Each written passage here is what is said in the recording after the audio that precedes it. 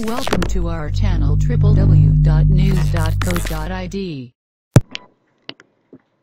Halo pemirsa, bertemu lagi dengan saya di channel News INC.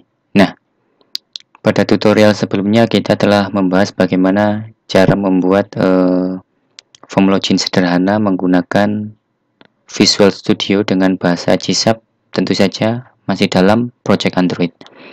Oke, uh, pada tutorial kali ini saya akan memberikan kepada Anda cara bagaimana membuat sliding tab menggunakan GSAP tentu saja dan Visual Studio. Nah, hasilnya nanti seperti ini pemirsa.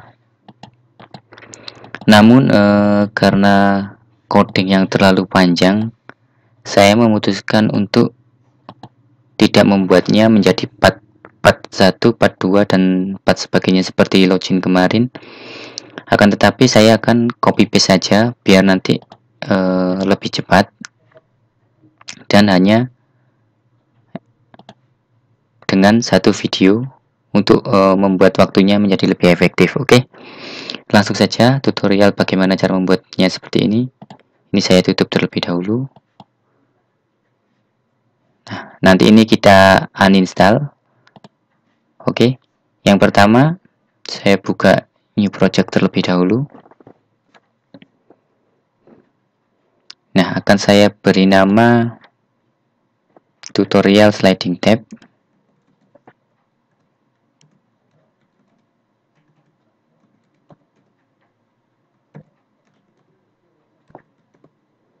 Oke, setelah itu saya klik OK.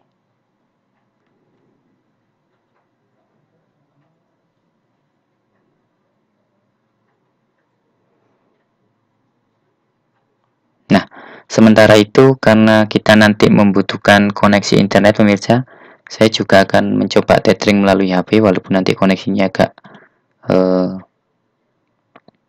pas-pasan, namun tidak apa-apa.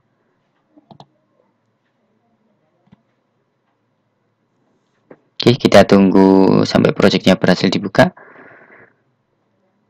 Bisa saya pause juga gak apa-apa. Nah, ini projectnya sudah terbuka pemirsa dan ini adalah uh, source code yang telah saya siapkan ini saya menggunakan aplikasi Notepad++ uh, agar nanti kita mudah dalam memahami codingnya atau uh, enak dalam copy paste-nya.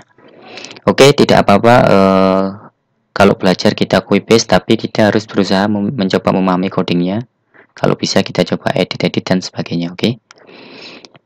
nah karena kita nanti menggunakan Android Support Library versi 4 saya tambahkan terlebih dahulu. Dengan cara klik di sini pemirsa di komponen klik kanan get more komponen. Oke okay, uh, eh, ini saya allow block content. Saya yes. Setelah itu kita akan search Android support library.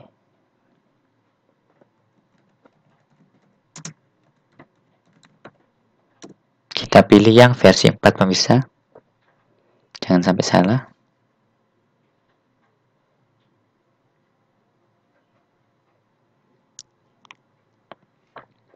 Nah ini saya scroll ke bawah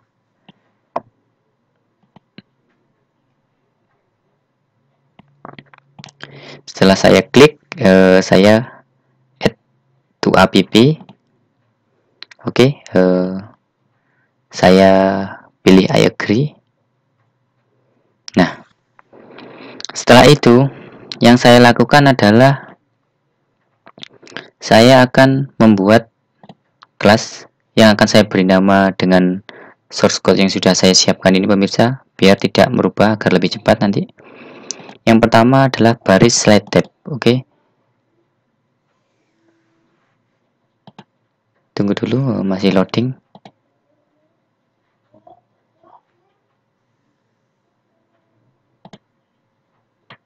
Oke, saya klik kanan di tutorial sliding tab, saya klik add new item.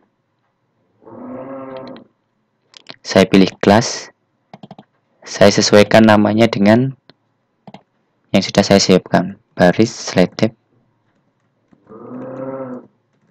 saya klik add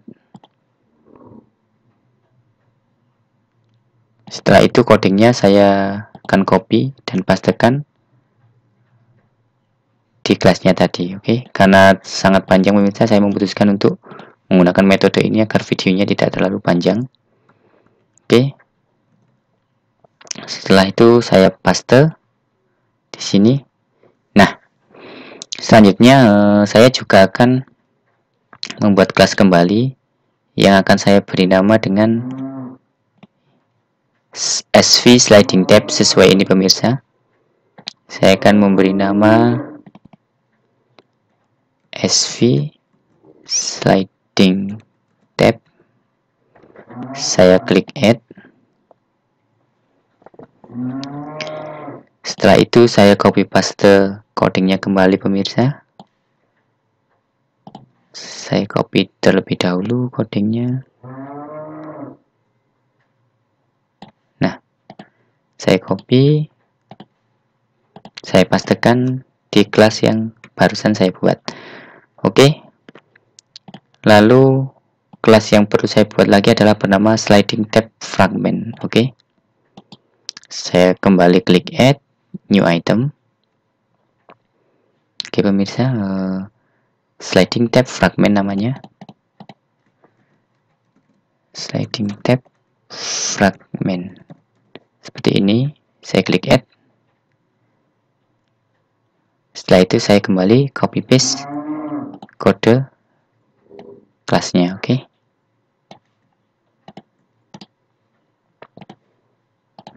oke okay, di sini saya nah saya copy paste seperti ini pemirsa. Lalu eh, selanjutnya adalah kelas untuk main activity. Secara default ini sudah terbuat. Oke saya hapus saja di sini. Kita ganti dengan yang sudah saya siapkan. Main activity-nya. Oke saya control V seperti ini kemudian eh, sebelum masuk ke AXML atau Android Layout, saya akan menambahkan uh, drawable atau icon di folder drawable saya. Dengan cara saya klik kanan di folder resource drawable saya klik kanan add existing item di desktop tadi sudah saya siapkan dua, dua buah icon yang pertama adalah my overflow saya add pemirsa.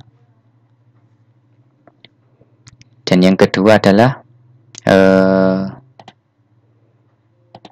icon news yang akan saya gunakan untuk icon aplikasinya nanti. Nah newsnya saya letakkan di main activity sini. News seperti ini. Sedangkan my overflow ini nanti kita gunakan untuk uh, icon di barnya nanti oke okay, drawable selesai kelas selesai setelah itu kita menginjak kepada uh, menu layout. Saya akan menambahkan layout yang akan saya beri nama dengan kalau tidak salah fragmennya tadi.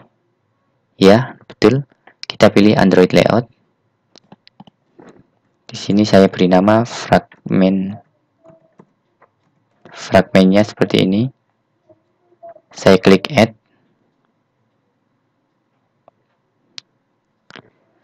Setelah itu nanti kita uh, saya kopikan terlebih dahulu pemirsa codingnya ini. Kode layout fragmentnya oke. Okay. ini masih dibuat oleh Visual Studio nya kita tunggu. Jika anda ingin uh, komputernya bekerja dengan cepat saya sarankan menggunakan uh, laptop dengan spesifikasi yang tertinggi. Kalau tidak salah uh, Intel itu lebih bagus performanya. Oke. Okay. saya copy paste. Tadi pemirsa hmm, untuk fragmennya .axml nah ini nanti adalah namespace dot uh, class. Oke. Okay? tidak apa-apa biarkan. Setelah itu saya akan membuat lagi uh, layout yang akan saya beri nama halamannya kalau tidak salah. Ini di, betul sekali namanya hala halamannya oke okay? nah karena berbarengan dengan desainer jadinya seperti ini pemirsa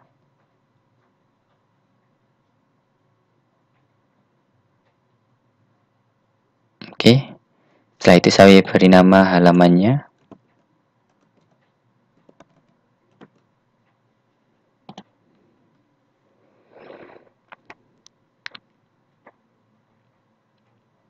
lalu saya copy paste codingnya kembali oke. Okay.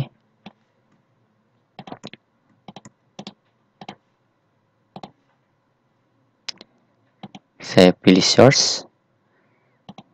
Tidak usah melihat desainernya karena terlalu lama. Halamannya tadi. Nah ini halamannya. Saya ganti dengan coding yang telah kita siapkan. Lalu apa selanjutnya pemirsa? Hmm kita rubah juga uh, source code untuk main XML nya secara default ini sudah ada main XML kita tinggal merubah uh, source nya saja. Saya ganti dengan yang kita siapkan. Oke. Okay. setelah itu uh, saya akan membuat folder yang akan saya beri nama dengan folder menu. Oke. Okay. di resource ini saya membuat sebuah folder. Aduh bukan item. Mohon maaf pemirsa. Add new folder oke. Okay. menu.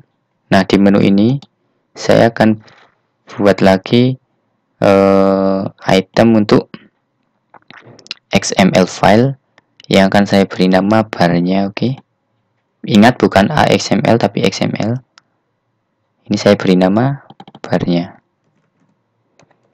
saya klik add. Kita copy paste lagi codingnya pemirsa.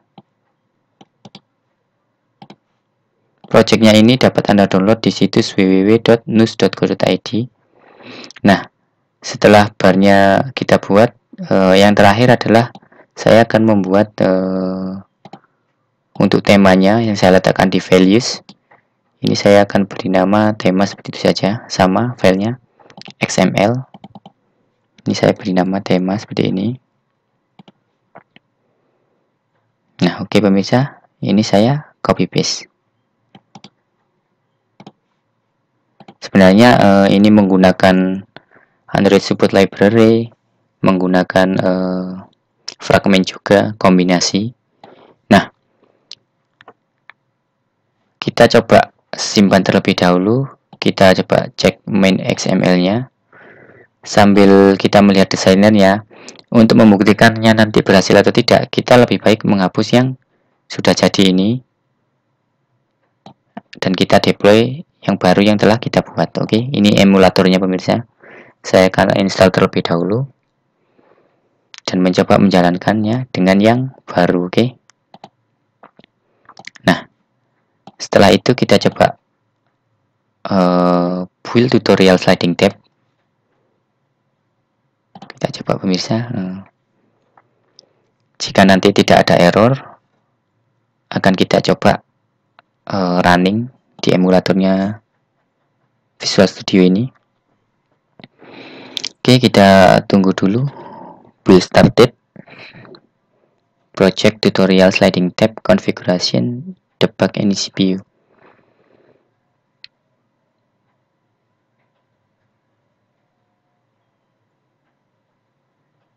Mungkin nanti ke ketika ada pertanyaan mengenai kejelasan source code dan sebagainya, Anda bisa menanyakannya melalui komentar di channel video News INC. Projectnya dapat Anda download di www.news.co.id. Ingat, uh, double U pemirsa.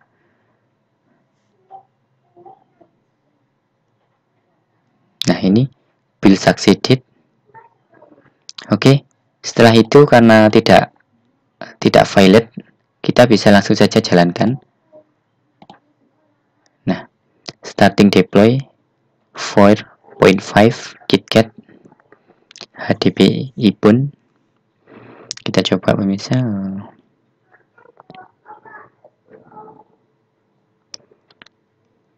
Kita coba cek. Kalau nanti berhasil eh,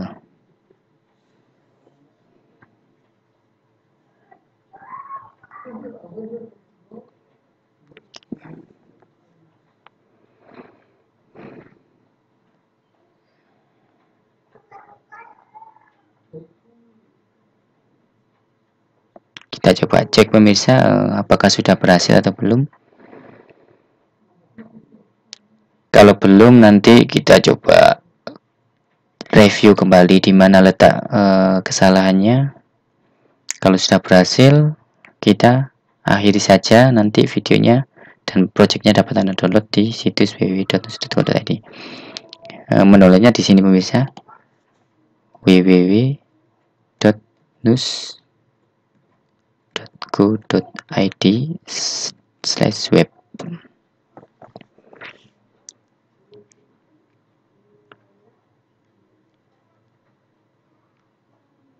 Nah, ini pemirsa, eh, Anda lihat telah berhasil pick karena ini indeksnya 0, jadi saya isi dengan 0, indeks 1, indeks 2 dengan menu deployment, desain indeks 3 oke okay? dan seterusnya nah ini sudah berhasil ya dan kalau anda uh, ingin menu ini anda juga bisa mengisinya nah bagaimana uh, merubah pick di fragmen ini oke okay? saya tutup terlebih dahulu untuk membuktikan kalau ini memang aplikasi yang barusan kita buat oke okay? kita coba memodifikasi sedikit pada bagian fragmen uh, tadi oke. Okay? kalau tidak salah terletak di uh,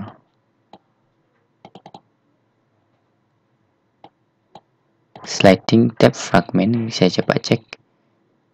Nah ya bisa benar. Ini dia.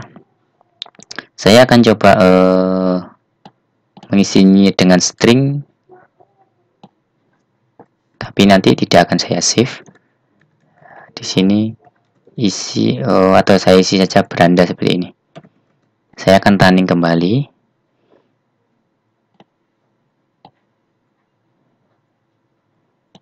Oke okay, uh, eh,